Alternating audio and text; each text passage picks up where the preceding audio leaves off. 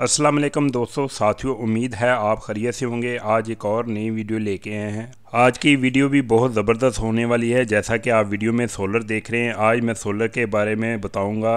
ये वीडियो आपने पूरी देखनी है, आपको इस वीडियो से काफ़ी फ़ायदा होने वाला है। आज की video six kilo solar system के बारे में है। आपको मैं रहनुमाई देने जा रहा हूँ सोलर सिस्टम स्ट्रक्चर के बारे में। अगर आप इस वीडियो में नए हैं तो मेरे चैनल को सब्सक्राइब ज़रूर करें ताकि हर किस्म की इन्फॉर्मेशन टिप्स एंड ट्रिक्स की वीडियो आप तक पहुँचती रहे। इस वीडियो में ये भी बताऊँगा कि कौन सा सोलर इन्वर्टर लेना चाहिए। चलें, देर किए बगैर वीडियो स्टार्ट करते हैं। जैसा कि आप वीडियो में देख रहे हैं कि मुख्तलिफ़ घरों में सोलर लगे नज़र आ रहे हैं आपको।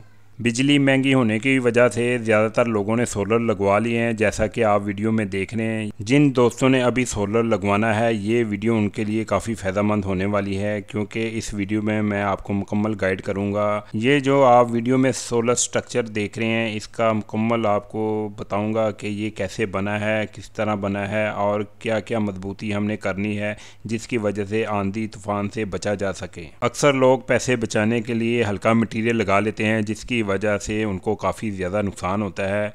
ये सोलर सिस्टम 10 प्लेटों वाला है, जैसा कि आप वीडियो में देख रहे हैं। ये सोलर प्लेटें मैं ऊपर से आपको दिखा रहा हूँ, एक ही सीध में लगी हुई हैं। हमने जो सोलर स्ट्रक्चर डिज़ाइन किया है, पाँच प्लेटें एक तरफ़ लगाई हैं और पाँच प्लेटें दूसरी तरफ़ लगाई हैं और सेंटर में हमने हवा के लिए दो से ढाई फुट का फासला हमने रखा हुआ है, जैसा कि आप वीडियो में देख रहे हैं। इसका ये फ़ायदा है कि अगर हवा ज़्यादा भी आ जाए, हमारे सोलर सिस्टम को कोई नुकसान ना हो। सोलर प्लेटें कौन सी लगवानी चाहिए? चाहिए और कौन सी अच्छी हैं तो ये जो आप वीडियो देख रहे हैं, ये जो सोलर प्लेटें देख रहे हैं, ये है Canadian N type bifacial full documented के साथ। यानी कि ओरिजिनल प्लेटें हैं, ये फेक प्लेटें नहीं हैं, अक्सर लोग धोखा दे देते हैं, वो हल्की प्लेटें लगा देते हैं और कहते हैं, ये हमारी एक नंबर प्लेट है। अब मैं आपको नीचे से भी सोलर प्लेटें दिखा देता हूँ, जैसा कि आप वीडियो में देख रहे हैं, ये है बाईफिशल एन टैप ये डबल ग्लास प्लेटें हैं, इसका काफ़ी ज़्यादा फ़ायदा है, ये लगानी चाहिए, मैं तो यही रिकमेंड करूँगा। ज़्यादातर लोग जब सोलर लगवाते हैं तो छत पर आके दूसरों को सोलर देखते हैं, उन्होंने कैसे लगाए तो उसी तरह वो लगा लेते हैं। लेकिन ये सोलर मैंने खुद ही डिज़ाइन किया है। सोलर सिस्टम छत पर जितनी भी कम हाइट पे लगे वो बेहतर है, क्योंकि दो चीज़ों का फ़ायदा लाजमी होता है। एक तो पैसे कम लगते हैं, आंधी और तूफ़ान से हमारी सोलर प्लेटें महफूज रहती हैं। इस सोलर स्ट्रक्चर को मज़बूत करने के लिए हमने छः पिलर बनाए हैं, जैसा कि आप वीडियो में देख रहे हैं। उन पिलरों के साथ हमने डबल सपोर्टें लगाई हैं। ये पिलर हमने कैसे बनाए हैं और ये सपोर्टें कैसे लगाई हैं और ये एंगल कैसे लगाए हैं, वो भी मैं आपको तफसील से बताऊँगा। जितने भी हमने पिलर बनाए हैं, उनको हमने लेंटर के साथ ग्राउंड किया है, रावल बोर्ड के साथ। ये जो आप एंगल के साथ सपोर्टें देख रहे हैं, ये एंची बाई एंची का पाइप है और ये 16 गेज का है, क्योंकि 18 गेज का लोग लगाते हैं, मैंने ये 16 गेज का लगवाया है। सोलर प्लेटों के कनेक्शन करने से पहले फ्लेक्सिबल पाइप मैंने ऊपर लगा दिया है, ताकि इसकी डबल सेफ्टी हो जाए। जब आपने सोलर प्लेटों की फ़िटिंग करनी है तो आपने चार इंच का फासला रखना है, जैसा कि आप वीडियो में देख रहे हैं। मैंने हर सोलर प्लेट के साथ चार इंच का फासला रखा है। पाँच प्लेटें एक तरफ़ और पाँच प्लेटें दूसरी तरफ़। लेकिन जब पाँच प्लेटें लगती हैं, उसके अंदर भी मैंने चार इंच का फासला रखा है, ताकि हवा का दबाव जो कम से कम मेरे सोलर को नुकसान दे।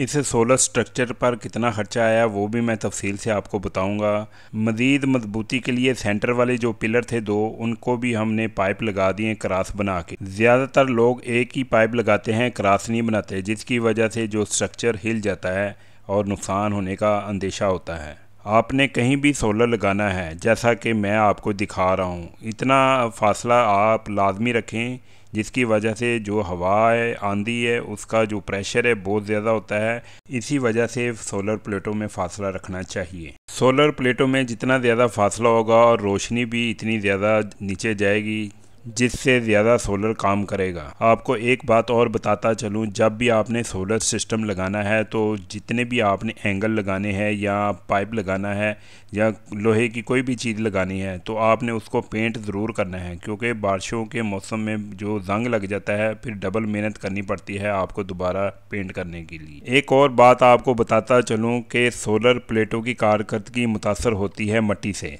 तो आपने महीने में एक से दो बार प्लेटों को अच्छी तरह धो लेना है।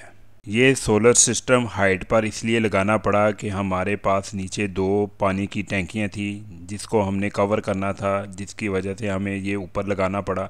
जैसा कि आप वीडियो में देख रहे हैं एक टैंकी ये नज़र आ रही है आपको और दूसरी टैंकी ये नज़र आ रही जिसकी वजह से हमारी ये हाइट तकरीबन आठ फुट बन गई और दूसरी तरफ़ हमने तीन फुट डाउन करके पाँच फुट बना दी। जिन दोस्तों ने अभी तक मेरे चैनल को सब्सक्राइब नहीं किया, वो सब्सक्राइब कर लें, क्योंकि मैंने अपने चैनल पर बहुत ही अच्छी अच्छी और इन्फॉर्मेशन और टिप्स वीडियो डाली हुई है। आप वो वीडियो देखेंगे तो यकीनन आपके लिए वो भी फ़ायदेमंद होंगी। इस वीडियो को मैंने पार्ट वन का नाम दिया है। इसमें मैंने ये सोलर स्ट्रक्चर के बारे में आपको मालूम दी है और मज़ीद बताने के लिए मैं अगली वीडियो तैयार कर रहा हूँ। आपको मुकम्मल बताऊँगा कि मैंने ये कैसे फ़िट किया है, किस तरह फ़िट किया है। शुरू से ले कर एंड तक आपको वो भी बताऊँगा कैसे मैंने लेंटर के साथ, इसको रावल बोर्ड के साथ फ़िट किया है, रंग कैसे किया है।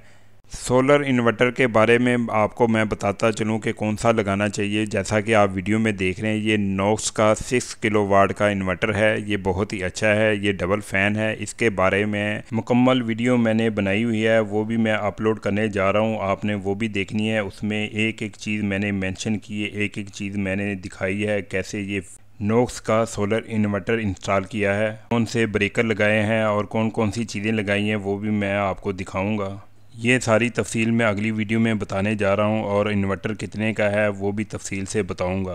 वीडियो ज़रूर देखिएगा। तो दोस्तों, मैं उम्मीद करता हूँ कि ये वीडियो आपको बहुत पसंद आई होगी। अगर पसंद आई है तो मेरे चैनल को लाइक करें, सब्सक्राइब करें और बेल आइकन प्रेस कर दें, ताकि हर आने वाली इन्फॉर्मेशन वीडियो और टिप्स वीडियो आप पर जल्द पहुँच सकें। मिलते हैं अगली नई वीडियो में। अल्लाह हाफिज़।